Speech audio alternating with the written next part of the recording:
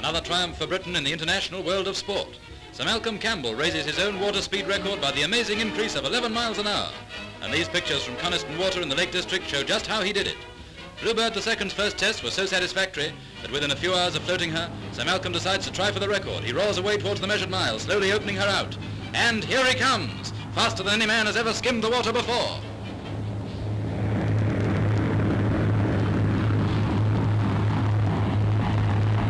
And back again just about as fast.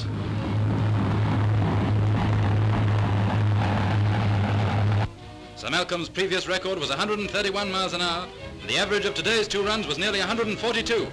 So the fastest man on the water is faster still. As he lights his pipe after risking his life again, Sir Malcolm looks completely unconcerned. Isn't that the spirit?